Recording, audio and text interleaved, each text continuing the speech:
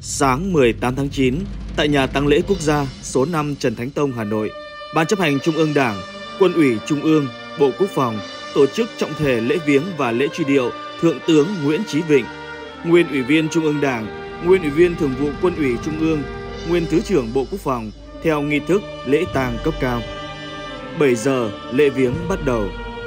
Tổng Bí thư Nguyễn Phú Trọng, nguyên Tổng Bí thư Nông Đức Mạnh gửi vòng hoa viếng Thượng tướng Nguyễn Chí Vịnh. Đoàn Ban Bí thư Trung ương Đảng do bà Trương Thị Mai, Ủy viên Bộ Chính trị, Thường trực Ban Bí thư, trưởng ban tổ chức Trung ương làm trưởng đoàn vào viếng. Tham gia đoàn còn có nguyên Chủ tịch nước Nguyễn Xuân Phúc, nguyên Thủ tướng Nguyễn Tấn Dũng, nguyên Phó Thủ tướng Thường trực Chính phủ Trương Hòa Bình. Đoàn Chủ tịch nước do ông Võ Văn Thưởng, Ủy viên Bộ Chính trị, Chủ tịch nước làm trưởng đoàn vào viếng.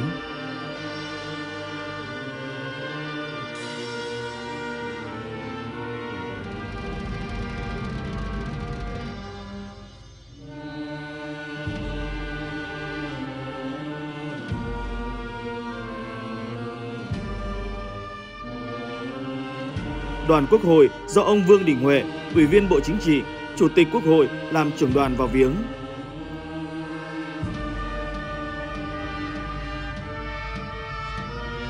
Đoàn Chính phủ do ông Lê Minh Khái, Phó Thủ tướng Chính phủ làm trưởng đoàn vào viếng.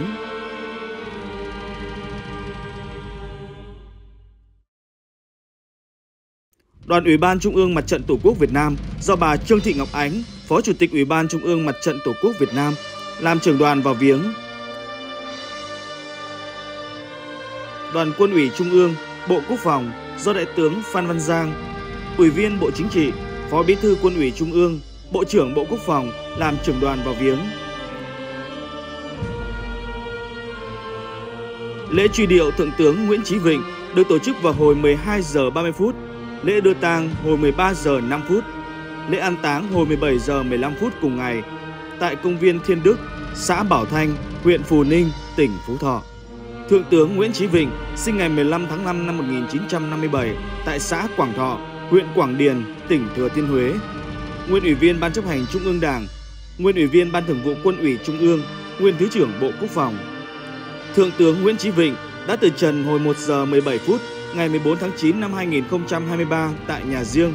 Thượng tướng Nguyễn Chí Vịnh là Ủy viên Ban chấp hành Trung ương Đảng các khóa 11, 12. Tháng 10 năm 2021 được Đảng, Nhà nước cho nghỉ theo chế độ.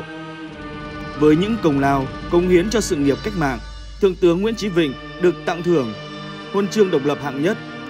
Huân chương quân công hạng nhất, nhì, ba,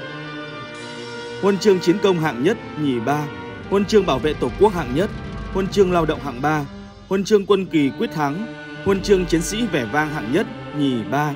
Huân chương hữu nghị của Liên bang Nga, Huân chương Isala hạng nhì của nhà nước Lào, Huân chương Anh Dũng hạng nhì của nhà nước Lào, Huân chương Antonio Maceo của nước Cộng hòa Cuba, Huân chương bảo vệ Tổ quốc hạng nhất của Campuchia, Huân chương Đại thập tự của Campuchia, Huân chương Mặt trời mọc tia sáng vàng của Nhật Bản, huy hiệu 40 năm tuổi Đảng và nhiều phần thưởng cao quý khác.